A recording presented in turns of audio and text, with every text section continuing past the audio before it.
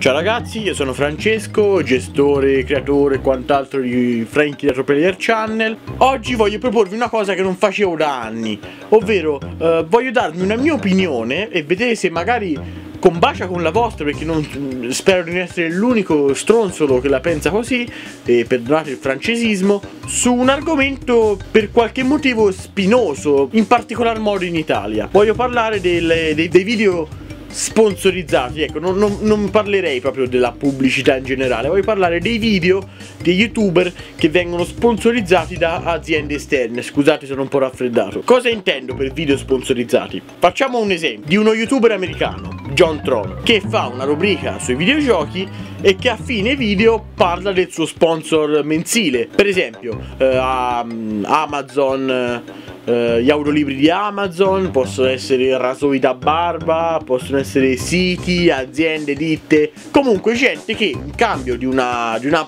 piccola pubblicità paga un compenso. Basta. Quello che vorrei capire io è perché in Italia una cosa simile è talmente scandalosa. Ovvero, uno youtuber porta un video di qualità. Non lo so, Marcus Kron per, per, per, nominare dei gameplayer famosi. Portano su YouTube un episodio di, per esempio, Marcus Crown porta su YouTube un episodio di Minecraft, bellissimo, vi divertite come sempre. Solo che a fine video dice, ragazzi, eh, mi hanno pagato, passate se volete dagli audiolibri di Amazon. Eh, certo, io non vivo di, di aria e visualizzazioni, ho bisogno di soldi per vivere, per mangiare. Se volete fateci un salto, tanto a me mi hanno già pagato. Ok, c'è una pubblicità alla fine del video. Eh, ma non capisco, e sinceramente non, non sto facendo del sarcasmo, non capisco come questo diventa un problema su YouTube Italia. La pubblicità che c'è a fine video, in mezzo al video, a inizio video, non va in nessun modo ad intaccare la qualità del video stesso. Quindi non ne capisco il motivo.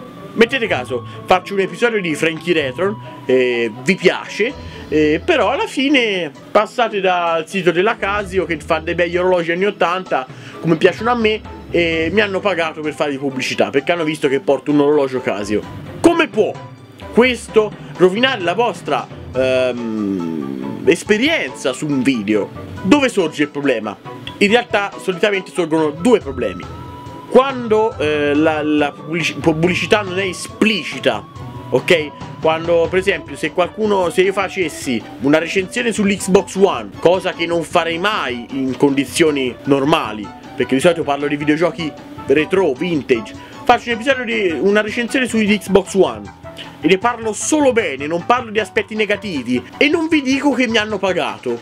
Quello, oltre che a snaturare i miei video, va ad intaccare la qualità, perché non, non parlo di miei, di miei, non parlo di mie opinioni o della mia esperienza effettiva, parlo di quello che mi hanno pagato per fare senza dirvi che mi hanno pagato, ok? Perciò quello che faccio è il testimonial, che non è il lavoro dello youtuber, spesso. Numero due, quando lo youtuber si svende completamente, ovvero eh, io faccio blog sul make up e la Michelin viene a farmi a propormi una sponsorizzazione. Lì vai un po' a rovinarti la, la, performance nel senso che vai ad intaccare quella che è effettivamente la qualità del tuo canale. Se io invece recensisco videogiochi e non, non so neanche la, la Naughty Dog viene e mi dice ti do tot euro. Se alla fine del video metti lo spezzone con Uncharted va bene. E per qualche motivo non riesco a capire tutto quello che serve per avere una buona pubblicità e un buon riscontro col pubblico è la sincerità. Ragazzi ehm, io cioè a me servono soldi per campare. E vi pubblicizzo un prodotto che conviene a me perché vengo pagato dagli creatori di questo prodotto. E conviene a voi perché comunque è un buon prodotto. Comunque se viene pubblicizzato vuol dire che ha una clientela ha una qualità ok? Perciò se John Tron pubblicizza gli audiolibri lui trae profitto dal, dagli audiolibri. E il pubblico crea, eh, trae profitto da buoni audiolibri o comunque un ottimo eh, sito di audiolibri. E Amazon guadagna perché arriva la clientela. Tutti guadagnano nessuno si lamenta festa finita. Perché in Italia è una questione così spinosa. Perciò è ok essere trasparenti perché youtuber è diventato un lavoro negli anni è diventato un vero e proprio lavoro. Se tu metti la testa su YouTube 100% tutto il giorno, arrivi a licenziarti, arrivi a non fare nient'altro nella vita perché punti a, uh, a raggiungere una certa qualità, un certo fandom, tale da poter campare con i guadagni di YouTube ma sappiamo che YouTube ha il braccino corto. Quindi se io davvero voglio vivere e voglio dedicare tutto il tempo della mia vita alla mia passione, non posso prendere 5 euro al mese. Devo uh, andarmi a, a, insomma, ad aggrappare ad altri scamotage, ad altri stratagemmi. Devo fare la spesa la mattina, ok?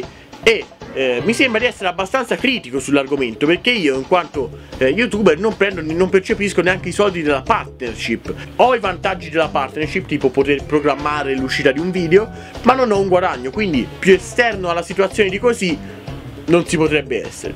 Secondo me un video sponsorizzato è normale è più che accettabile a patto che la, la, sponsorizzazione non vada ad intaccare, non vada a, ad agire in qualche modo sulla qualità del tuo prodotto. Esatto, non è ok nel momento in cui eh, vai a svenderti, come si dice, sgravi. Voglio sapere la vostra opinione e passate dalla pagina Facebook Frankie Retron Retro Player Channel, iscrivetevi al canale e guardate l'ultimo episodio di Frankie Retron, pubblicità videoludiche 3. Io sono Francesco e ci vediamo al prossimo video.